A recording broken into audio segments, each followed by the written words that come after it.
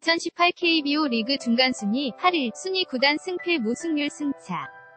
연속 1두산 5727에 0 0.679에서 1패 2한화 5036에 0.